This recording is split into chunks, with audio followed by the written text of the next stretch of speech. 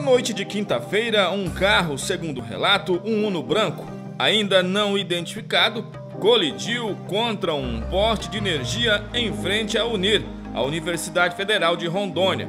Não se sabe o motivo do acidente e nem a identidade do condutor.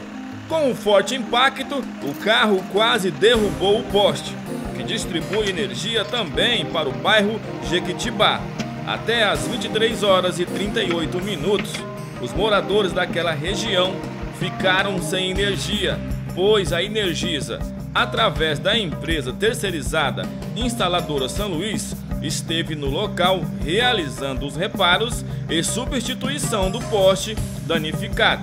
Até que a manutenção fosse feita, os moradores sofreram com o calor durante a noite.